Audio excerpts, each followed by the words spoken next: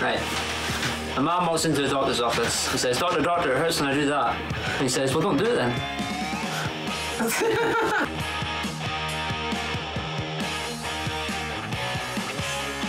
I'm Vinny Vex, and I'm really excited to be sitting in this chair.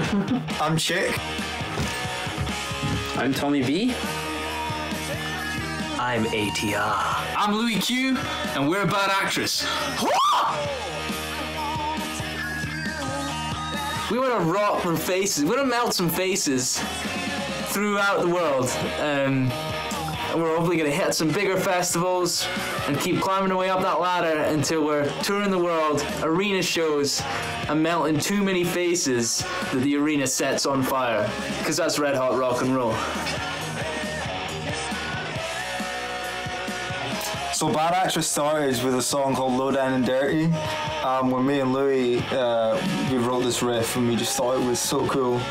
Um, so we recorded it on a little 8 track mixer and played it through my stereo and just whacked up the subwoofer and started jumping on the bed like, oh, we're going to be rock stars, you know. So we were pretty excited. And uh, we, to be fair, we still play that song. So, yeah, one, one, so, so far so good. So uh, Tommy, well, so Tommy B and uh, and ATR, they came into the picture. They played in other bands around the area, and um, and I was like, guys, your bands aren't great, but I've got a better opportunity for you. I'm joking. I actually ended up playing in some of their bands and filling in on drums, and Tommy hated me playing drums, so yeah, soon after the band ended, and um, I like to think I had a little something to do with that. Um, so yeah. Anyway, he, he, I asked he to come and play guitar, and confirmed that I would be playing guitar, and not drums. Um, we had Louis on drums. We had a couple of songs, kind of ACDC style stuff, and I mean, we thought it was the coolest. We thought we hit a gold mine with that low down and dirty riff. We were still like jumping about listening to it, so we just yeah, we're like Tommy.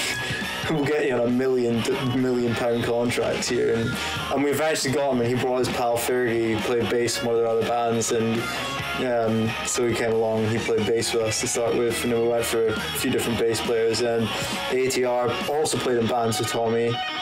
I think he was actually the original drummer in some of these bands that I, that I appeared in.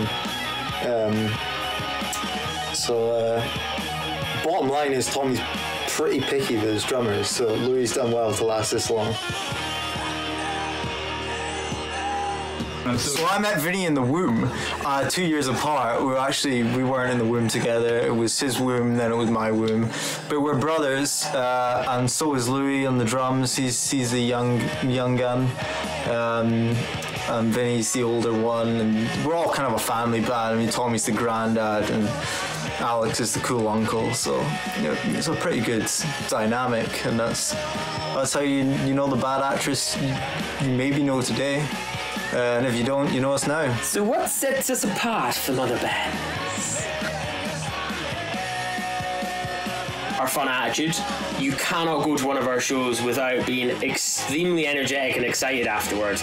Because, you know, we play, we bring the party, and it's just a good time for everyone involved other than that stuff, I think musically we bring so much. You know, we are taking all of our inspiration from back in the day of the 80s, the stuff that we were brought up with that our parents loved, but we're putting our modern touch on it. We're making it fun, we're making it exciting, we're making it modern, we're giving you something that you've never heard before. And frankly, if that's not a reason to come and see us, I don't know what is. And I think that's one thing that really sets us apart from other bands. There's a lot of good stuff out there, but just is not Red Hot and Roll. Why did we go the direction we did? Well, you were talking a good number of years back now. Um, I think we were all just kind of fed up really with what we were hearing in our local scene. Um, we just wanted to kick back to the 80s sort of stuff, you know, like ACDC, Motley Crue, stuff like that. We just, that's just the kind of stuff we enjoyed listening to, and no one was playing it. So we thought, fuck it, we'll do it.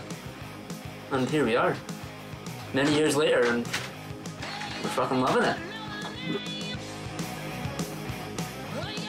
when we won the Stormbreakers competition for Winter Storm, I myself was surprised because there was a lot of good bands on, um, and yeah, it's just it's weird to think that out of all of them, we were the ones that were chosen because um, it was really great bands. I've got one of them on just now, Fallen Mafia. They were playing.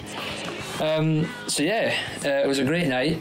It was uh, a great organised gig. We've done a few battle bands in our time, and this is definitely tip top of it all. And yeah, the chance to play the festival is just amazing. Um, yeah, it's just it's a big gig, and we're buzzing for it. We're going to be releasing tons of new music over the next year, so there's a bit of a spoiler there, but it's all going to be pretty exciting. And we've actually started started tracking a lot of it now, and we're all pretty excited about it. So, yeah, get ready for that. Um, we also have festivals next year. We're doing some. We're doing Rock in the Bowl Festival down in Sheffield, Rockwich Festival in Nor- Norwich. Um, we're at Hard Rock Hell Sleaze, also in Sheffield. Um, and Winter Storm this year as well. So so tons of cool shows coming up.